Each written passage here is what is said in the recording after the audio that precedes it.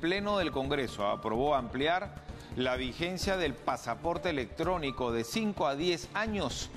La propuesta alcanzó 101 votos a favor y no tuvo votos en contra ni abstenciones. Se trata de un dictamen de la Comisión de Defensa del Consumidor del proyecto de ley 3011 que modifica el decreto legislativo 1350 y amplía la vigencia del pasaporte electrónico ordinario por 10 años. El documento que es expedido por la Superintendencia Nacional de Migraciones y en el extranjero por la Cancillería a través de las oficinas consulares del Perú en el exterior.